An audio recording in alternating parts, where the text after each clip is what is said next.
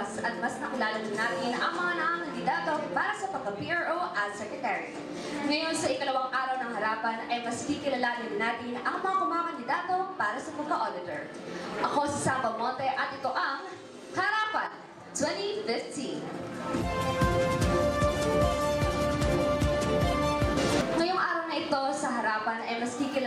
Natin ang mga tumatakbo para sa pagka-auditor. Kasabay niya, naiyaanyahan pa rin namin kayo upang mag-tweet gamit ang official hashtag na USD Halalan 2015 sa Atomya USD at sa USD Commonwealth. At para simulan na pagkaharap na mangyayari ngayon, ipakikilala ko na sa inyo ang ating dalawang kandidato.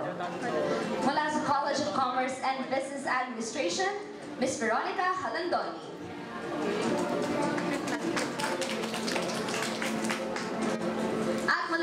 Faculty of Pharmacy, Mr. Zed Rakidan.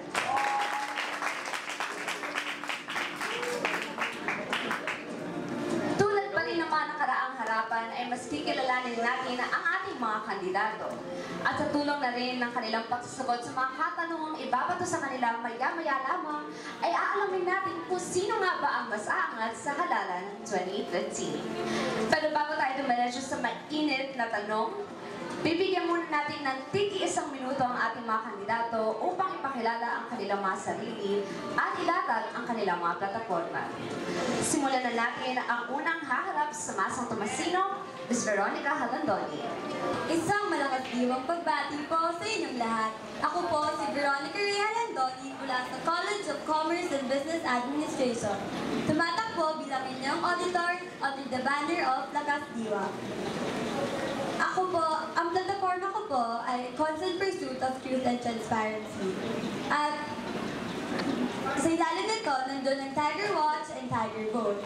Tiger Watch is the release of expense reports and evaluation of the CSC, while the Tiger Vote is the students' involvement for the 2016 national elections. Maraming salamat, Veronica. At ngayon naman, ay pakinggan natin si Mr. Zed Rakidan. Ang iyong isang minuto ay nagsisimula ngayon. Good afternoon. I am Zeth Rene D.R. Rakadan from the Faculty of Pharmacy, your former Central Student Council Chief of Staff, now running as your Central Student Council Auditor.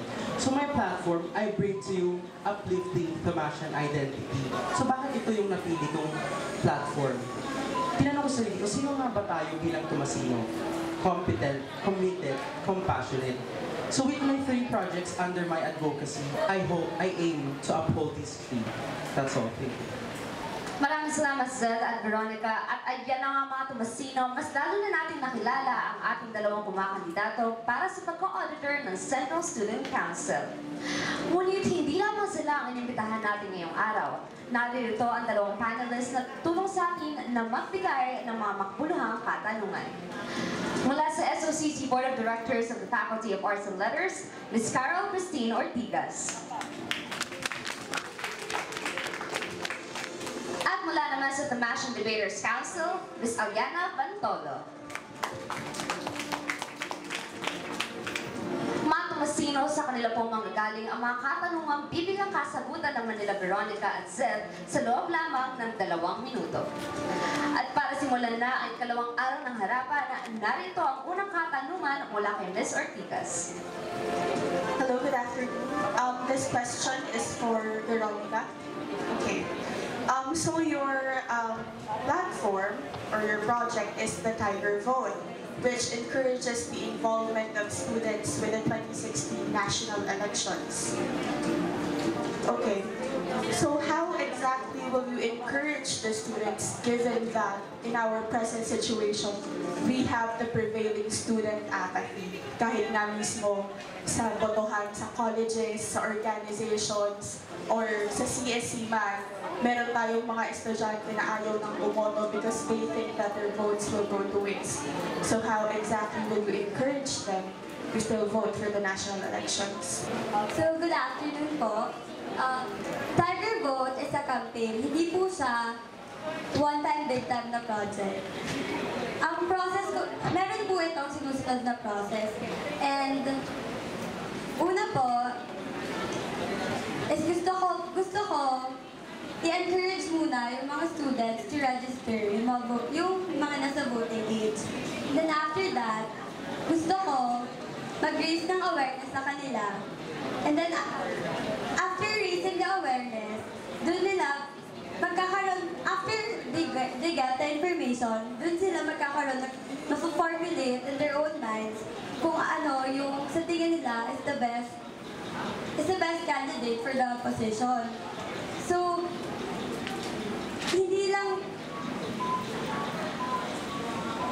di ba students involvement ang gusto ko i ang gusto students involvement ang gusto ko i-uplift dito kasi after raising the awareness then makaka-form na sila ng it ng ng opinion nila about it and then mag, gusto ko mag, mag-raise ng survey for it.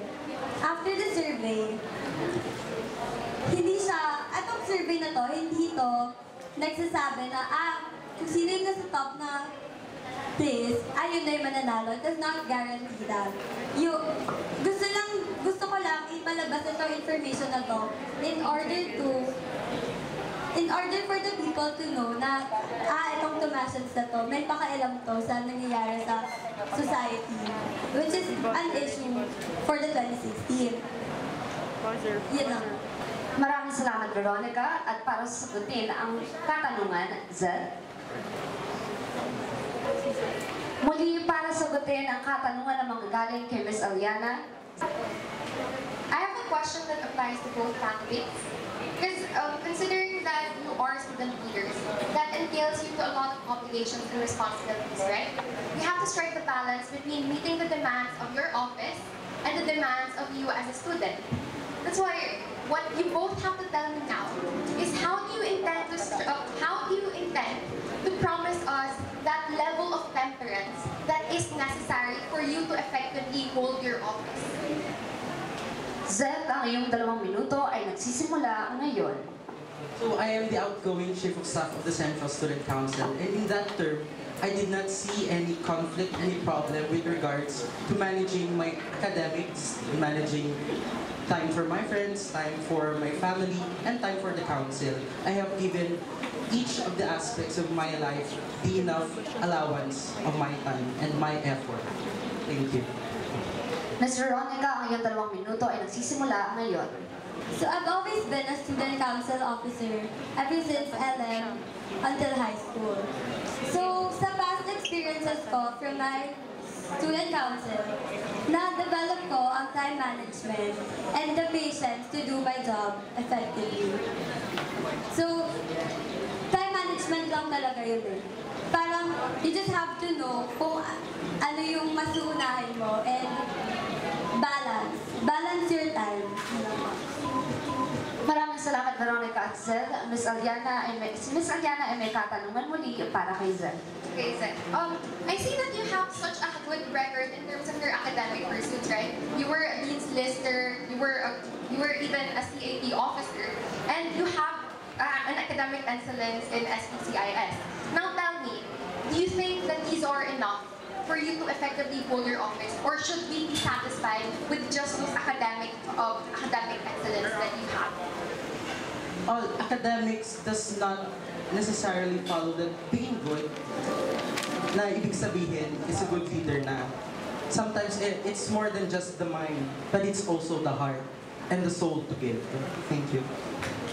Maraming salamat sa ating mga panelists at sa ating mga kandidato. Ayan na nga mga tumasino ang unang bahagi ng ikalawang araw ng Harapan 2015. Tiyak na mas ba maya-maya lamang ang harapan ng ating mga kandidato, kaya patuloy lang ho kayo sumubaybay at mag-tweet gamit ang official hashtag na UST Halalan 2015 sa UST Comelec at sa Antopia UST. Magbabalik ang Harapan 2015.